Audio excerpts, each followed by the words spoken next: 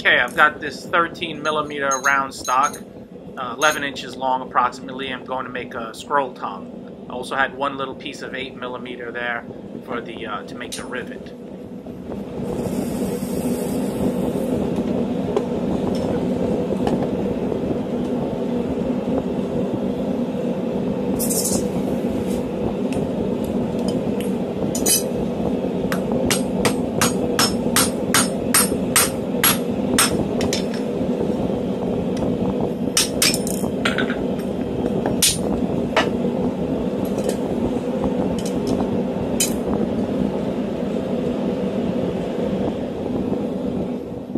Okay, now that the rivet's done, I'll get on to making the tong. But uh, first, I also wanted to say that I'm going to do a giveaway uh, of this scroll tong. Uh, you know, I was thinking about it, and uh, you know, I you know had a lot of loyal subscribers and you know people who often comment. So I'd like to you know give a little bit back to someone, and I might do this again in the future as well.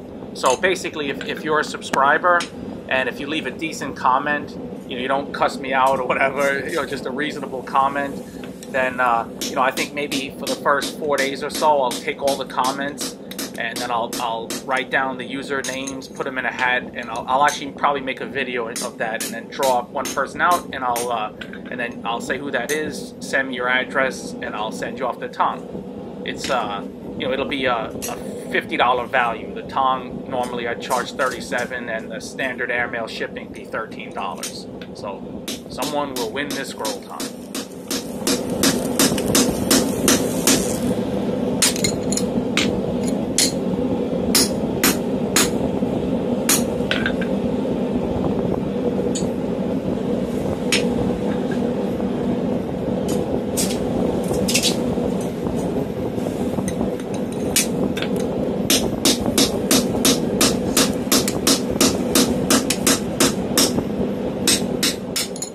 This is a scroll tong, I, typically I would use medium carbon steel for this because it's not basically used for holding. It's you know used to manipulate, you know a little bit of bending and twisting. So it needs to be a little bit harder. But I only had mild steel, so I'm really thickening thickening up the jaws on this one.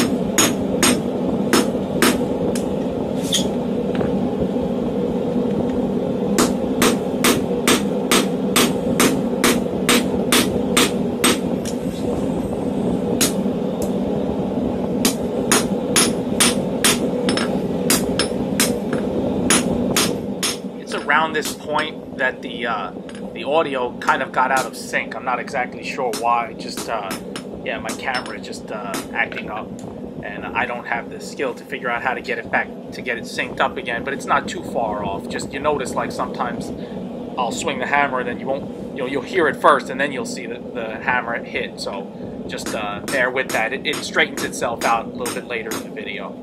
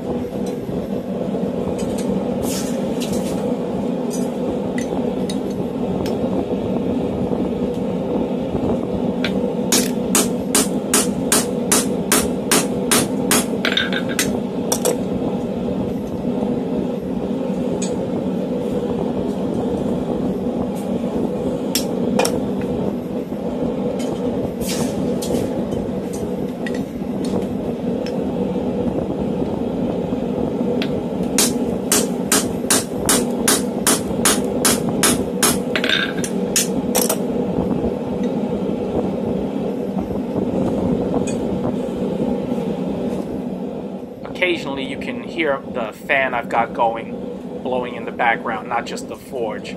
The weather's been unseasonably hot even for here at this time of year. So I'll, uh, yeah, just bear with that. I mean, it wouldn't be a, a GS video if it didn't have some visual or audio problem, I guess, right?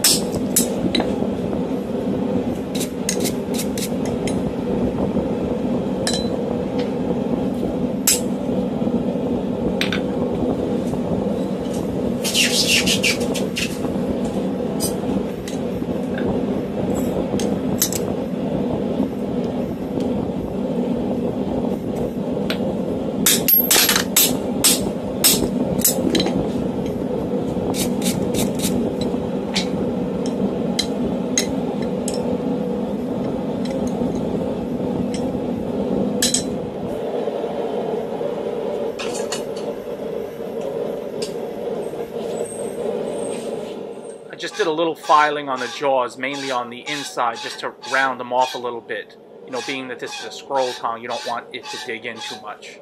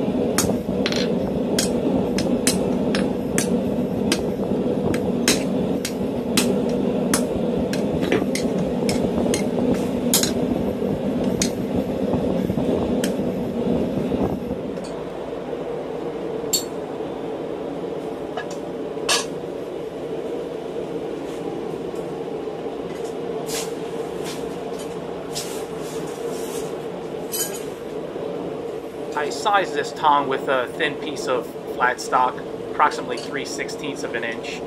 So this way you'll be able to hold some stock, you know, at, typically like you would with a tong when forging, not just use this for manip manipulating scrolls. Uh, also, I look forward to getting my big vise in place and using that in the future.